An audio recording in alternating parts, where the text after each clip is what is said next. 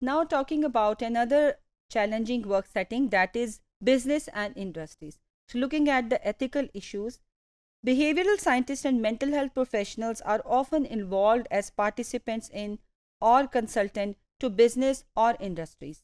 Their role might include management consultation, personnel selection, organizational research, and human factor applications.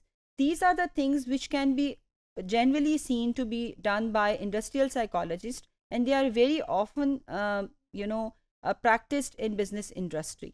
हम देखते हैं कि आजकल जितनी भी मल्टीनेशनल कंपनीज़ हैं जब वो हायरिंग करती हैं तो वो किसी साइकोलॉजिस्ट को ऑन बोर्ड लेती हैं ताकि वो उनको हायरिंग में हेल्प कर सके।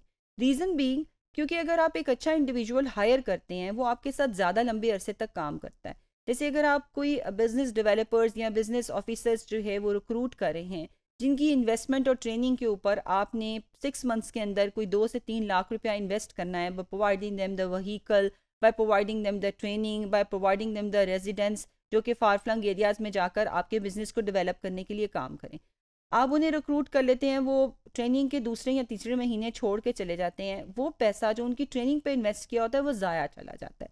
जब आप एक साइकोलॉजिस्ट को हायर करते हैं, वो उनकी प्रोफ़ाइल स्टडी करते हैं और वो उनकी वर्क कमिटमेंट स्टडी करते हैं उनके चैलेंजेस देखते हैं और वो उनको अंदाज़ा होता है कि ये इंडिविजुअल क्या इस तरह की असाइनमेंट कर सकेगा या नहीं कर सकेगा। और फिर वो हायरिंग करते हैं तो वो कॉस्ट जो गलत रिक्रूटमेंट की वजह से एक कंपनी की वेस्ट हो जाती है वो उनकी काफ़ी हद तक सेव हो सकती है।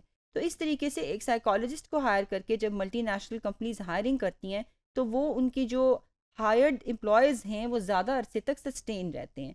So so, these roles are very important plus जो उनकी ऑर्गेनाइजेशनल रिसर्च है कि आप किसी प्रोडक्ट के ऊपर रिसर्च उसके बाइंग बिहेवियर के ऊपर कंज्यूमर की साइकोलॉजी के ऊपर जो रिसर्च करते हैं, ये सारा काम जो है वो इंडस्ट्रियल साइकोलॉजिस्ट जो है वो करता है ऑर्गेनाइजेशनल साइकोलॉजिस्ट करता है और वो उसका फ़ायदा जो है वो उन कंपनीज़ को होता है।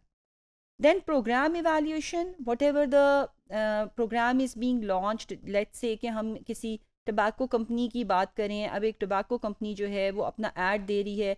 अब साइकोलॉजिस्ट जो है, वो जब उस ऐड को देखता है, उसको बता सकता है कि इस ऐड को आपको कैसे डिज़ाइन करना चाहिए, क्योंकि ये एक हेल्थ कंस्टेंट है। और अगर आप इसको एक पब्लिक हेल्थ मैसेज के साथ लिंक करके देंगे तो शायद ये एक बेहतर तरीके से एडवर्टाइज हो सकेगा। लेकिन अगर आप इसको इन जनरल एक फ़ैशन के मैनर में देंगे तो प्रॉबली ये एक बुरा रिव्यू हो सकता है and things like that then training and then consumer psychology एक पूरा सब्जेक्ट है, जिसको जो है वो ऑर्गेनाइजेशनल साइकोलॉजीज अपनी डिग्री में पढ़ते हैं और उसको अप्लाई करते हैं। देन एडवर्टाइजिंग एप्लीकेशंस जो हैं, वो कैसे बनानी है? देन पब्लिक रिलेशन सर्विसेज़ जो है, वो कैसे बिल्ड करने हैं? कस्टमर केयर मैनेजर्स जो हैं, उनको कैसे ट्रेनिंग देनी है? जैसे हम लोग बहुत सारे ब्रांड्स हैं, जिनको देखते हैं और सोचते हैं कि ये ब्रांड कैसे एज ब्रांड इस्टेब्लिश हुए। Because they have that psyche which they understood of their consumer और वो उसके साथ काम करते हैं। जैसे कंज्यूमर्स कहते हैं, हम इन ब्रांड्स के कपड़े इसलिए ख़रीदते हैं क्योंकि क्योंकि इनकी आफ्टर सेल सर्विसेज़ बहुत अच्छी हैं।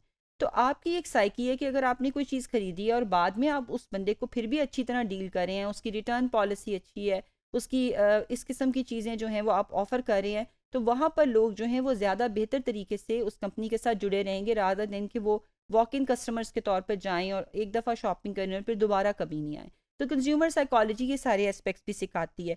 देन मार्केटिंग स्टडीज़ के आपको किस तरीके से मार्केटिंग स्टडीज़ करनी है?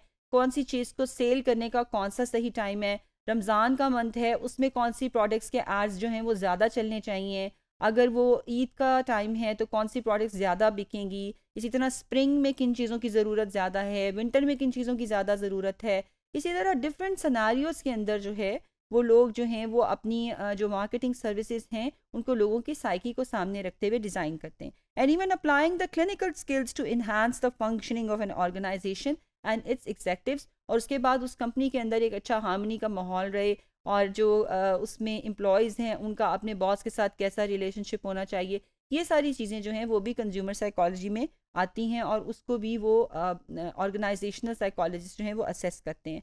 The ethical difficulties Such professionals face in business settings derive both from the special demands of their particular role at times उनके रोल में ऐसी चीज़ आ जाती है जो शायद उनको पर्सनली लगता है कि ये हमारे सब्जेक्ट के अगेंस्ट है।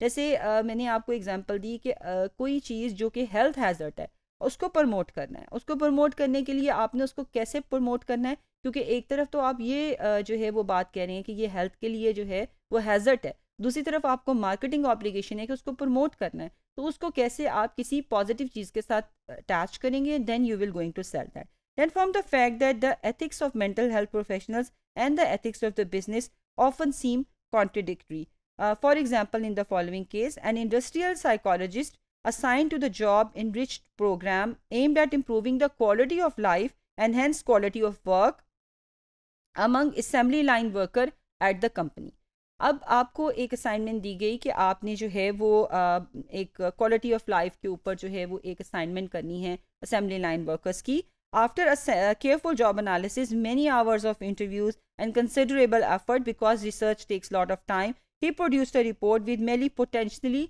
useful suggestions अब रिपोर्ट जो थी वो मैनेजमेंट ने ले ली, उसने उसको थैंक यू कह दिया और उनको कहा कि ये रिपोर्ट जो है अहेड ऑफ़ इट्स टाइम है और हमें इसकी एज सच अभी इम्प्लीमेंट करने की ज़रूरत नहीं।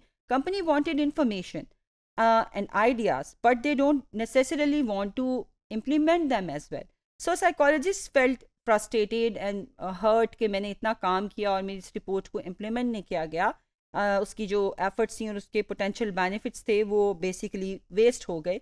अब इस सिनारियो के अंदर although the company has paid him as an organizational psychologist and his client company seems satisfied कि हमने आपको जो काम दिया था आपने बहुत अच्छा करके हमें दे दिया।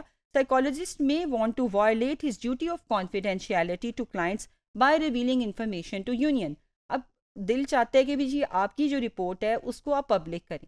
आप किसी ऐसे इंडिविजुअल को बताएँ जिसका उसको फ़ायदा हो सके। आप मे बी यूनियन को बता दें कि वो असेंबली लाइन वर्कर्स के लिए कुछ कर सकते हैं तो वो कर लें।